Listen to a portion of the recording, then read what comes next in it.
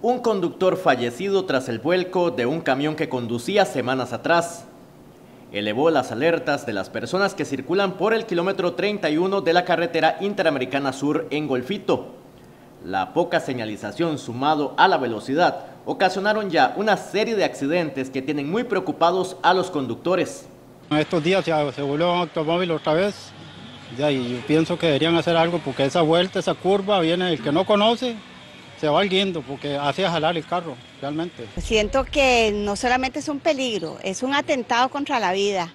Eh, tuve la oportunidad de ver en estos días un furgón que se precipitó y al día siguiente pasé de nuevo y encontré de nuevo un carro, creo que era un Mitsubishi, que también estaba detrás del furgón.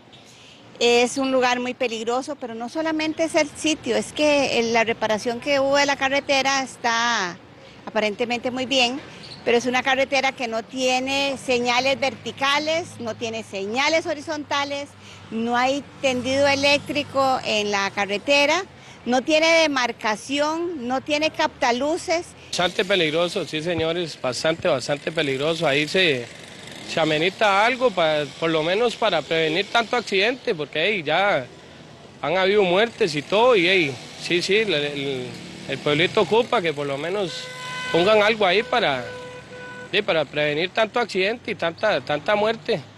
Claro que sí, se fue un tráiler, después se fueron, si más no me equivoco, tres carros más aparte del tráiler. Y antes de eso ya, ya se había ido una buceta, y otro tráiler. O sea, sí, ya han sido varios, varios los accidentes antes de, de, ese tráiler, que hubo un muerto, por cierto.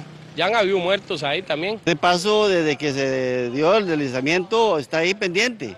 Y eso se debe que ya hemos tenido varias gente que han perdido sus carros y sus vidas.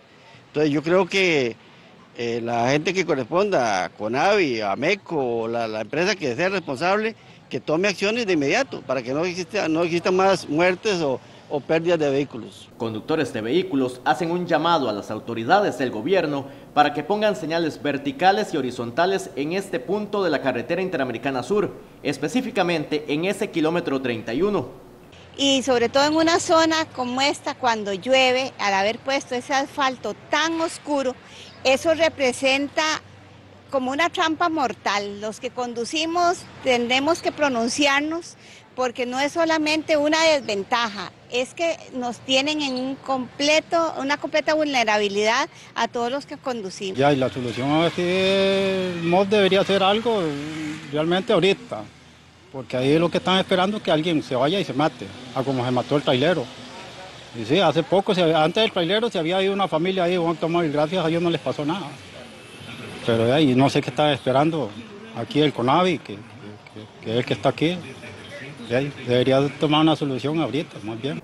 La precaución sigue siendo el llamado de atención para todos los que tienen que circular por el sector y en general por todas las carreteras de la zona sur.